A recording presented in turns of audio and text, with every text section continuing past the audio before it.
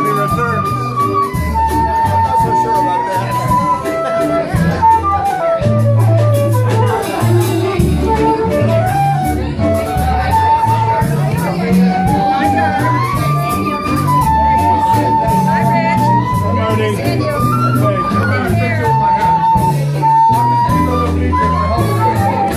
Everybody, when I retire.